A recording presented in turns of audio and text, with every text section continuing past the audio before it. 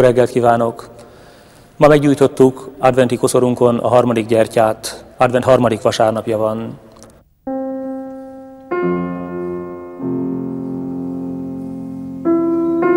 Az advent eljövetelt jelent. Nem csak a kis Jézus születését várják a keresztények, hanem a visszajövő Jézus Krisztust is.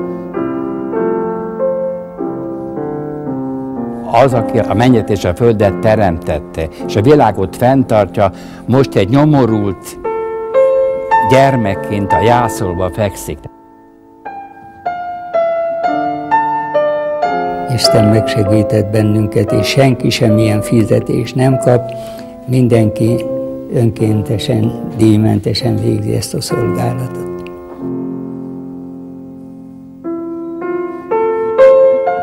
Nagyon komolyan vesszük azt, hogy szenteste a gyerekek, ha lehet, ne érezzék nagyon azt a hiányt, amit a család hiánya jelent. Legyen belőlünk ebből a mélységesen emberhez lehajló Krisztusi szeretetből és ölelésből valami. Jöjj népek megváltója, Véni Redemptor Gentium, írta ősi himnuszában Ambrosius Milánói püspök. Advent régi magyar neve Úr jövet. Az Úr érkezésére készülünk a mai vasárnapon. Az adventről úgy szoktak beszélni, mint karácsonyvárásról, holott az advent szó egészen mást jelent, eljövetelt jelent. Lényegében a keresztény egyházi év az üdvösség történet rövid summája. A régiek advent négy vasárnapjáról beszéltek, és ez a négy adventi vasárnap Jézus négy eljövetelét takarta. Ennek az emléke él az adventi koszorú négy gyertyájában is, amelyik négy különböző színű. Hogy ezt ne a magam szavaival mondjam el, ezért hát hadd idézzek egyetlen régi szerzőt, ez legyen egy protestáns szerző, Bot Péter, aki Szent Hertokrátész, avagy a keresztények között előforduló innepekről című munkájában, amit 1757-ben írt, a következőket mondja adventről. Krisztusnak négy adventusa eljövetele vagyon. Midőn testben megjelent, midőn a szívbe bészált, és az embert megérinti, midőn halála óráján elmégyen az emberhez, midőn eljő az utolsó ítéletre. Azt is lehet mondani, hogy ez a keresztény életnek ma is az összefoglalója. Nem csak a kis Jézus születését várják a keresztények, hanem a visszajövő Jézus Krisztust is. Az én egyházamat ezért nevezik adventista egyháznak, mert a mi hitünkben központi helyet foglal el a visszatérő Jézus valósága, ez határozza meg a mi életünket, ez határozza meg a mi szolgálatunkat a mindennapokban. Ma advent harmadik vasárnapja van, van-e ennek a napnak valamilyen kiemelt szerepe a régi egyházi hagyományban, vagy a néprajz gyakorlatában? Ó, hogy ne, ez egy nagyon-nagyon fontos és nagyon érdekes szerep, hiszen van egy olyan hagyomány, amit a görög katolikus keresztények keleti ritusa őriz meg, de ez nagyon érdekes módon egy ferences ünnepség volt, a középkorból ered. Ez a szállást keres a kis Jézus, amit advent harmadik vasárnapján szoktak gyakorolni. De arról van szó, hogy a, az egyház beszerez több olyan képet, amin Mária látható Szamárháton, József vezeti szállást keresnek. Ezeket a képeket oda kölcsönzik családoknak, kilenc család, tíz család szokott összeállni, és az egyik családi házba ezt felállítják, megtisztelik, megvendégelik, így mondják, meghívják a szegényeket, koldusokat, házisten tiszteletet tartanak, fölkészülnek a karácsonyra. Ez advent harmadik vasárnapjának, 15-ének az ünnepe. A karácsonyfa állításának sok-sok régi előzménye van. Már a rómaiak idején örökzöld ággal ajándékozták meg egymást, azután gondoljunk csak a hanukka gyertyákra, a fénygyújtás a leghosszabb őszi napon, ez is egy érdekes régi ősi szokás. Az a karácsonyfa, amit mi annak nevezünk, valamikor a 15. század végén, második felében alakulhatott ki, Németországban, és ezért a reformáció forrás területéről vannak az első feljegyzéseink a mai értelembe vett karácsonyfára.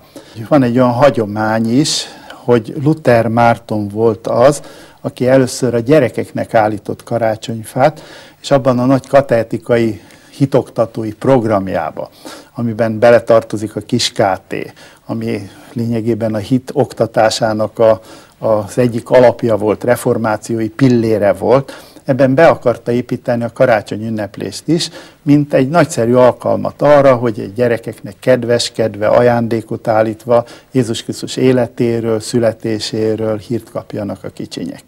Magyarországra csak a múlt században jött, és ezt a múlt századi magyarországi karácsonyfákat mi már egészen jól ismerjük, hiszen elérhető történelmi távolságban van ez tőlünk, hogy ezt az első karácsonyfát valamikor nem is olyan régen, az 1820-as években Podmanicki Frigyes állította az Aszódi kastélyban, ő evangélikus volt, evangélikus hagyományok élnek benne. Azután Brunswick Terézről is tudjuk azt, hogy karácsonykor összegyűjtötte a gyerekeket, megajándékozta karácsonyfát állított, vagy Mária Dorottyáról is, hogy még egy jeles evangélikusról beszéljünk.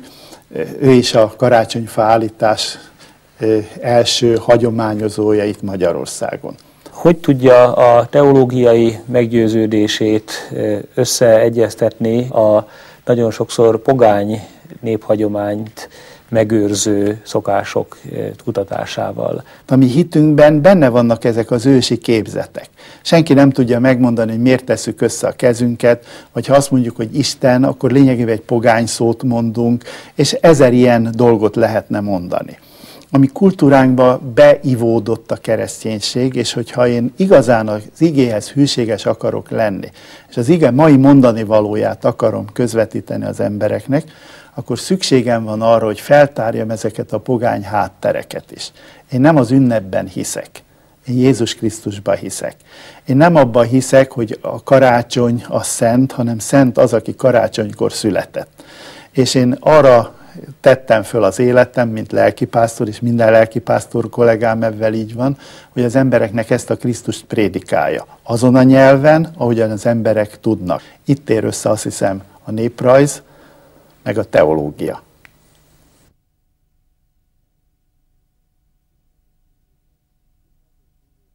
Ünnep és művészet egymástól szinte elválaszthatatlanok. Különösen is érvényes ez a régi hagyományokra visszatekintő karácsonyi orgonamuzsikára.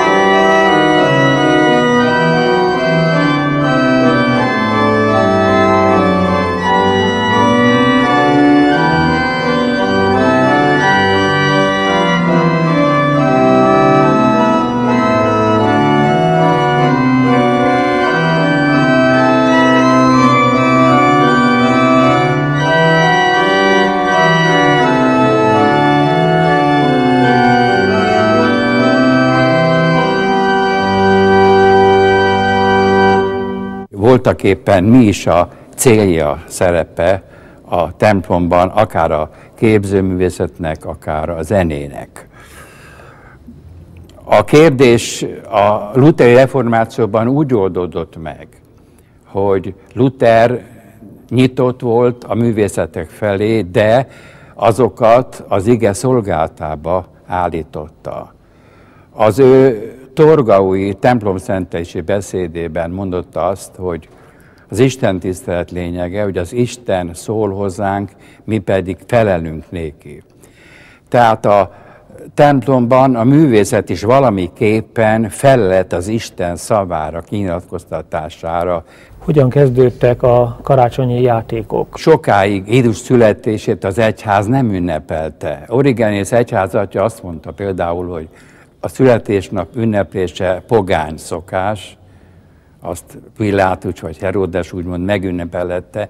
Az egyház a szenteknél és a halottak napját ünnepli, annak a jelentőséget. Ezért előbb alakultak ki a templomban a játékok Jézus szenvedéséről, vagy akár a húsvéti játékok is, Jézus feltámadásának a megjelenítése. De aztán később mégiscsak kialakult az, hogy a Jézus születés történetét is dramatizálták. Mi volt Bach jelentősége a karácsonyi zenében? Ő már gyerekkorában ott ült az orgonapadon nagybácsa Kristóf mellett, az ezen, aki Gevrön kirkébe regisztrált, lapozta a kottát, részt vett az orgona, hát nézegette az orgona átépítést épp akkoriban. Ordrufba, ahol később került, szintén egy orgonista mellett növekedett, de ugyanezt tapasztalta úgy, hogy esküvőn, temetésen, keresztelőn, vagy alapítványi rendelésre halál évfordulón a sírokhoz kell kimenni, és ott is énekelek. Tehát a gyakorlati élet, nem koncert, a gyakorlati élet és az egyházi zene összeszövődött. Ebből érthető, így jutunk oda, hogy a karácsonyi oratóriumot is úgy írta meg, hogy az a konkrét karácsonyi alkalmakra írodott. Nevezetesen ez nem egyéb, mint hat kantáta ez a műfaj általában ismeretes egy egyházzenei, hangszeres zenés kompozíció, énekes kompozíció. Tehát karácsony három ünnepére, új évre, új év utáni vasárnap és vízkeresztre. A karácsonyi üzenet lényeg az inkarnáció. A testetöltés csodál, karácsony szó is ebből származik. Bachnál ez erőteljesen kidomborodik, a első kantáta, a karácsony első része, egy gyönyörű basszus szólóban arról szól, hogy az, aki a földet, az éget, a mennyet és a földet teremtette, és a világot fenntartja, most egy nyomorult gyermekként a jászolba fekszik. Tehát a inkarnáció paradoxonját, megdöbbentő ellentétét hozza ki. Még megemlítem teológiai érdekességként, hogy a karácsonyi oratórium első korálja dallamában az Ó févérző sebekkel, nagypénteki dallamot szólaltatja meg. A zárókorál pedig persze három trombitával és egy parádés zenekarral kísért korál fantázia formájában ugyanezt a dalamot hozza. Feltétlenül éreznünk kell, hogy Bach a karácsonyi gyermekben már látja a később a megfeszített Krisztust. Karácsonykor találékony szeretettel fordulhatunk azok felé, akik mellettünk vannak. De megtalálhatjuk a segítés módját azokon is, akik tőlünk nagyon távol, sok-sok szenvedés közepette élnek.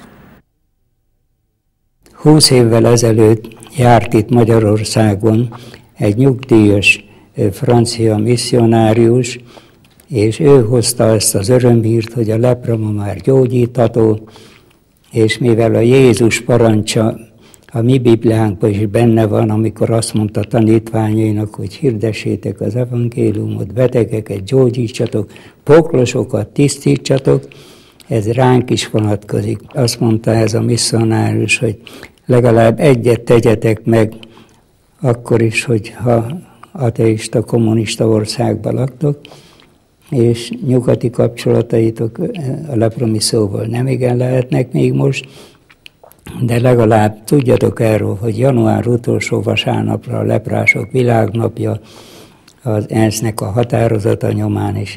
Legalább akkor egyszer egy évben emlékezzetek meg a világ 20 millió leprásáról, és imádkozzatok munkásokért. Engem kért meg, hogy legyek ennek a gazdája itt Magyarországon is. Sikerült egy év múlva kimenni Londonba, lepraközpontba, és ott láttam, hogy az asszonyok kis csomagokat készítenek, mondták, hogy ezekből ilyen sebkötöző fáslik lesznek, ez nagyon gazdaságos, nagy segítség a leprások fekéjének a gyógyításában, amelyik több hónap alatt gyógyult csak be. És akkor Isten adta a gondolatot, hát ilyet a magyar asszonyok, lányok is tudnak csinálni, és hamarosan külmisszió imaközösségektől sikerült összegyűjteni 300 lepedőt, és kiküldtük ennek a leprakórháznak, és tájékozódást kaptunk az ottani orvostól, hogy most már nem koldulhatnak a leprások, el vannak különítve a város szélén, kaptak egy kis földet, de nem tudják művelni, csonka kézzel, lábbal, rakásra halnak, de a gyerekeiket igyekeznek megmenteni, akik között egészségesek is vannak. De nem lehet iskolát csinálni nekik, mert csak cafat rongyaik vannak, pedig ott egyszerű a ruházat, kis vászonból készül. És akkor gyorsan csináltuk a másik akciót, és küldtünk lepedőket nem csak a 150 ágyas, ágyról a kórházba, hanem zöld lepedőket is, meg fehéreket is, hogy ebből csinálnak ruházatot, uniformist, és már a következő karácsony után, új évkor már ebbe mentek boldogan az iskolába. És egyre több Lepra kórház címét kaptuk meg, ahol nagyon boldogan fogadták el ezt a segítséget. Terézanya nővéreinek is küldünk ilyen segítő csomagokat, mint egy 6-8 katolikus lepratelepet is segítünk. Hány munkatársa van Károly bácsinak? Kezdettől fogva önkéntes munkásokkal dolgozunk, 25-30 főleg nőtestvér vesz részt ebben a munkában hétfői napokon itt az Alagi téren, ahol a raktárhelyiségünk van. Itt készítjük el hetente a 25-30 csomagot, és néhány nyugdíjas férfi is van, aki messzi Dunántúról jön már hajnalba, fél négykor elindul, hogy ide érjen arra a délelőtre. Isten megsegített bennünket, és senki semmilyen fizetés nem kap, mindenki önkéntesen, díjmentesen végzi ezt a szolgálatot. Felkértünk a gyülekezetekben asszonyokat, leányokat, hogy készítsék ezeket a különböző hosszúságú fáslikat, úgyhogy olyan eset is volt, hogy a déd nagymama, a nagymama, a mama meg a kis unoka is együtt kötötték a fástit. Aki teheti, családi körben tölti a karácsonyt. Adódhatnak azonban olyan élethelyzetek, mikor valaki nem tud otthon ünnepelni. Különösen szívszorító ez gyermekek esetében. Az advent kezdetétől egészen karácsonyig van egy szép íve a kórház életének. Az első adventi vasárnaptól egészen a szentestéig. És hát ez nem jelent mást, mint egy lelkiekben való készülést, mint emberi értelemben való készülődést, ami szól részben a munkatársaknak az adventi esték keretében, amikor ismert egyházi emberek jönnek közénk, vagy társintézmények munkatársai jönnek közénk, és akkor együtt gondolkozunk az advent üzenetéről, vagy pedig jelenti azokat a programokat, amiket a gyerekeknek szervezünk.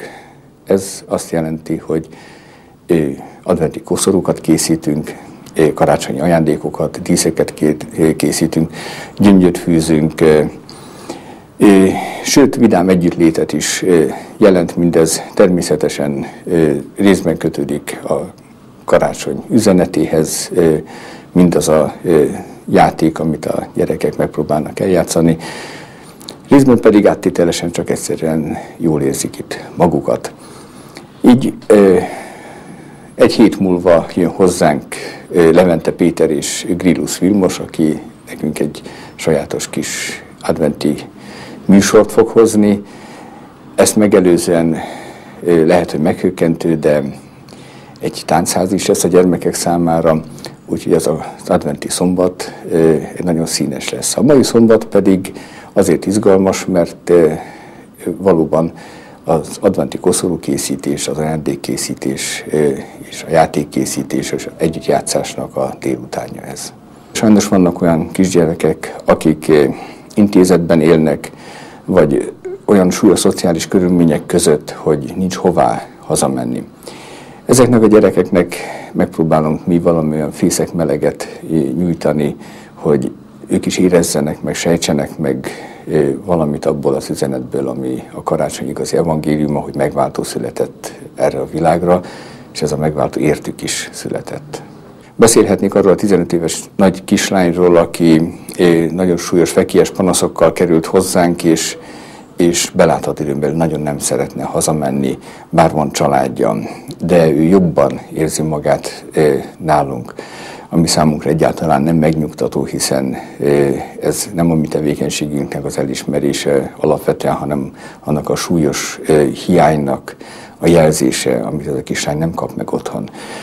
Beszélhetnék a kis Mónikáról, aki születése óta gyakorlatilag csecsemő otthonban él, és most már elmúlt tíz éves, de 7 kilóval, súlyos fogyatékossággal, élet és halál között várja a karácsony időszakát, és immáron több mint három éve többet van nálunk a kórházban, mint a csecsemő otthonban. Beszélhetnék arról a kisgyermekről, aki Erdélyből került hozzánk, és most egy súlyos kezelési időszak után van, és a karácsonyt itt kell töltenie. De vannak jó híreink is, mert annak az éhenhalt kisgyermeknek a két testvére, aki, aki hozzánk került a tragédia után, ezek a gyerekek kikerültek a Pátyi Máltai szeretett szolgálat otthonába, és ott most családi környezetbe töltik el az első karácsonyukat. Abban a világban, amikor az anyagi érdekek határoznak meg alapvetően mindent, kiemelt missziója lehet egy egyházi intézménynek, hogy felmutassa azt, hogy az ember életének vannak egyéb értékei, egyéb dimenziói, amik fontosabbak, és amik pénzben nem mérhetők. Ez az etika, a lelkiség, a spiritualitás az emberség területén jelenhet meg. Úgy hisszük, hogy, hogy ezeken a területeken kell nekünk valóban többet nyújtani. Ezekhez a feladatokhoz nekünk újra és újra meg kell találnunk a forrásokat, és itt elsősorban azt kell mondani, hogy a gyülekezetekre támaszkodhatunk, a gyülekezetek élőhitű tagjaira támaszkodhatunk, és nagyon sok olyan elkötelezett keresztény testvérre, akik érzik azt, hogy itt nem csak gyógyításról van szó, hanem, hanem ennél többet szeretnénk nyújtani az idekerülő gyerekeknek. A karácsonyi előkészületekre gyakran árnyékot vet a sok-sok előkészület, fáradtságos bevásárlás. Eközben gyakran elvész a lelki tartalom. Talán van mód arra, hogy az ember vásárlás közben ezt is megtalálja. A karácsonyi vásárunkat öt éve rendeztük először. Az erdélyi testvérgyülekezetünk megsegítésére fordítjuk a begyűjtött adományokat és a vásári hasznot. A testvérgyülekezetünk Olcakadáton van, szoros kapcsolatot tartunk velük, rendszeresen utazunk egymáshoz, meglátogatják egymást a lelkészek, sőt személyes családi kapcsolatokat is tartanak egymás között a gyülekezeti tagok. A bevétel az ő templomunk renoválására fordítódik már ötödik éve. Igazi karácsonyváró, jó, szeretetteljes hangulatban lehetünk együtt. A vásárlók között egy, elsősorban a gyülekezet tagjait találjuk, de a környező ö, templomok látogatói is, tehát református, katolikus templomok látogatói is járnak hozzánk, sőt más gyülekezetekből is jönnek, és a környéken lakók is becsöppennek így a gyülekezetünk életébe, hogy a plakátok alapján elindulnak a karácsonyi vásárunkra. Erőteljesen közösségépítő hatása van ennek a vásárnak, csak úgy, mint például a húsvét hajnali reggeli megszervezésének. Együtt dolgozunk, barátokká váltunk az évek során, és ebben nagyon nagy szerepe van a vásár előkészítésében, abban, hogy éjszakákat töltöttünk egymás otthonában, hogy a gyerekeinket is bevonva barkácsoltunk, ragasztottunk, sütöttük a mézes kalácsot. A másrésztről pedig a környező házakban élőket hozza ide, a rászorulókat hozza ide, azokat, akik nem tudnak karácsonyi ajándékot venni másút. És ezáltal kicsit a gyülekezetünkhöz tartozónak érezzük már azokat is, akik az utcán megszólítanak például, hogy lesz az idén is karácsonyi vásár. Átlátható közösség vagyunk. Tehát tudunk egymásról, és vannak őrállók, akik jeleznek. És ez nagyon fontos dolog, mert oda mi ki tudunk menni, és föl tudjuk mérni a helyzetet, meglátjuk a sorsokat, át és próbálunk ezekben valamiképpen segíteni. Hát a segítésnek többféle módja van, talán ez a vásár is jelzi azt, hogy jelzés értékű, hogy kinyitottuk a kapukat. Mi próbálunk effektíve valóban segítségére sietni azoknak a gyülekezeti tagoknak, ez a mi hatósugarunk. De én úgy érzem, hogy azon túl, hogy viszünk nekik esetleg egy kis élelmet, egy kis banánt, egy kis narancsot, cukrot, számomra sokkal nyomasztóbb az, amit én nem szegénységnek mondanék ma, hanem inség. Lelki inség, és ez, ez már egy sokkal komolyabb dolog a 20. század végén. És hogy mi ebben a helyzetben mit tudunk csinálni, azt hiszem, hogy nagyon fontos, hogy az egyházak rádöbbenjenek a kül, igazi küldetésükre. Ma csak szolgálni lehet. Jézus, amikor Jerikóba ment, akkor kiáltott egy ember a Jerikói országúton, segíts könyörű rajtam. A tanítványok azt mondták Jézusnak, nincs időnk, menni kell Jeruzsálembe, esetleg szertartások ünnepre. És Jézus nem engedte, oda ment a Jerikói vakhoz, és megkérdezte, hogy mi bajod. Ez az egyetlen hiteles magatartás. A világból kirekesztett emberek valami borzasztó magányban, elárvultságban élnek nekünk, mint egyház, mint gyülekezet, és mi nem csináljunk nagy programokat, csak a magunk szintjén, de tegyük meg, amit lehet, észrevenni az embereket, a kiáltást. És itt megint csak azt szeretném mondani, nem egyszerűen a segélyezés szintjén, hanem azon a szinten, hogy érdekel engem az a másik. Ma kiesnek, kihullanak egy kosárból az emberek, nem érdekli az ő sorsuk, nem érdekli senkit. És én úgy érzem, hogy a testi szegénység mellett a lelki szegénység, inség, hogy már csak a létezés szintjén vagyunk, már az élet nem számít, és a, a kérdezik, hogy és akkor minek élek, miért létezem. Nagyon fontos azt, hogy otthon teremtsünk én a gyülekezeti munkának az értelmét ebben látom. Hadd mondjam egész friss példa. Öt perccel ezelőtt, öt perccel ezelőtt mondta nekem valaki, te ha nem lenne ez a hely, akkor számomra nagyon nehéz lenne a lét. Nekünk úgy kell gyülekezetben dolgozni, hogy nyitott kapu, otthon érzést teremteni. Öregnek, fiatalnak, mindenkinek, és a fiatalok számára még nem tudják, de visszatérnek egyszer, mert megérzik valahol egy otthonnak a szeretetét. Egyik legfontosabb szolgálati területemnek tartom, és ahogy el fog lassan múlni fölöttem az idő, és nem fogok talán tudni annyit járni, leülni és hallgatni, hallgatni embereket. Ezt úgy érzem egy nagy, nagy feladat most, és van, amit csak az egyház tölthet be, mert hallgató emberek nincsenek, nincsenek, és az embereket meghallgatni, ez ma nagyon fontos. Mi az ige egyháza vagyunk, az mondani való, Isten mondani valója, és a mi mondani valunk a másik felé. És ha szabad nekem még valamit mondani, elém került Adi Endre verse, aki adventi vers, aki az legvallásosabb költők egyike volt, mert egzisztenciálisan kereste az Istent.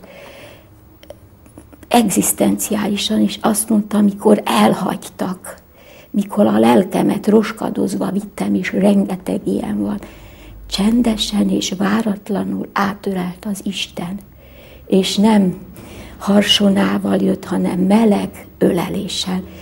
Én azt hiszem, hogy talán ez az egyetlen és hiteles szolgálatunk, legyünk becsületesek, a szavunk legyen tisztességes, lehessen ráépíteni ígéreteinkre, prédikációnkra, ne prédikáljunk úgy, hogy magunk nem vergőtük át, és nem mondunk hiteles üzenetet, és talán az, hogy legyen belőlünk ebből a mélységesen emberhez lehajló Krisztusi szeretetből és ölelésből valami. Hát én ebben látom az advent, és a mi egész szolgálatunk értelmét.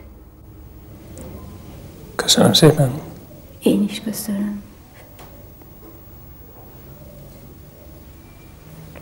Manapság tanulj lehetünk régi néphagyományok feléledésének, ezek közül legismertebb a betlehemezés.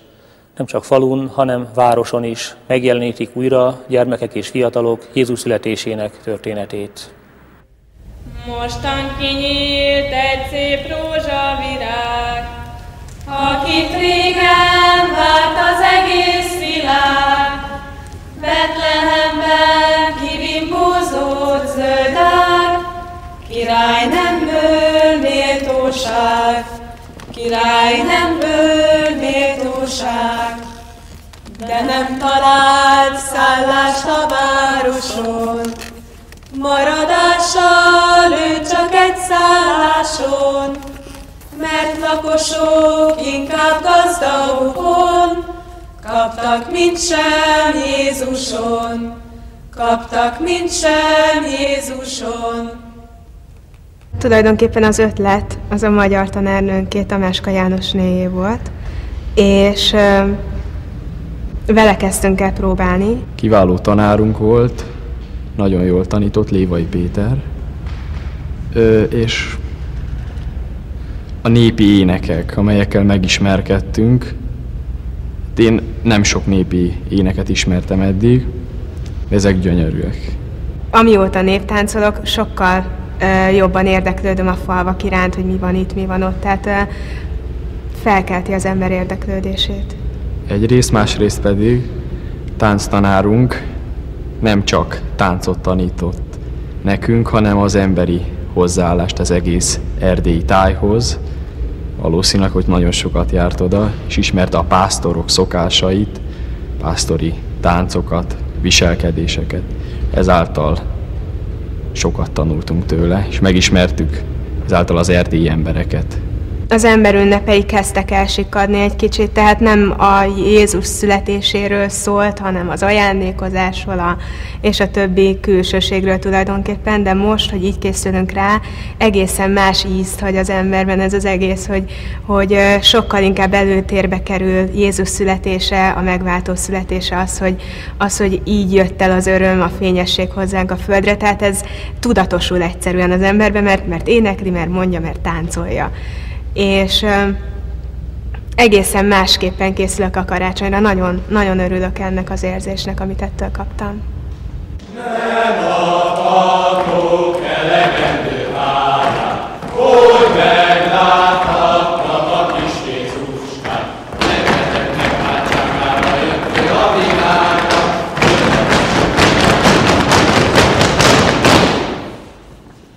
Ó, én kicsi Jézuskám, én Borda havasában fejőpásztor voltam, de ott én nékem ugyan igen rossz hasznom volt, mert a nagy hideg miatt a juhaim feje mindelapadott volt. Én felségednek egyebet nem adhatok, hanem hát egy szép báránykát igen nagy szívvel adok. Ezt vett tőlem kedvesen, édes kicsi Jézuskám. Ó, én kicsi Jézuskám, én Csalhún havasában fejő pásztor voltam, de ott én nékem nagyon rosszul szolgált a szerencse, mert a szelekben a juhaim teje mind elapadott volt. Én felségednek egyebet nem adhatok, hanem hát föltészem legjobbik juhomat, melyből telefejtem kétszer sajtáromat. Ezt vett kedvesen, édes kicsi Jézusom. Ó, én kicsi Jézuskám, én tarhavasában fejőpásztor voltam, de ottan ugyan nékem rossz hasznom volt, mert a medvék nyelmat mind összetörték volt. Én felségednek egyebet nem adhatok, hanem egy sajtároska tejet nagy jó szívvel adok. Ezt fogad kedvesen, édes kicsi Jézuskám.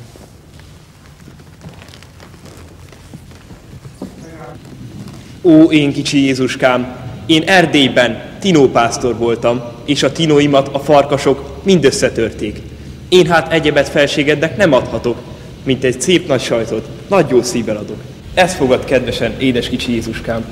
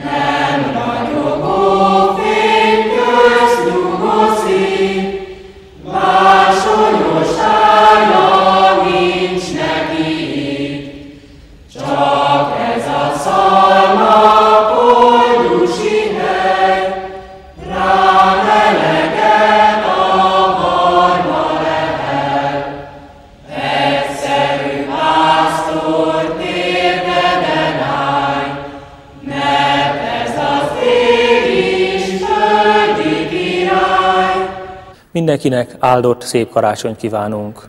Isten velünk, viszontlátásra!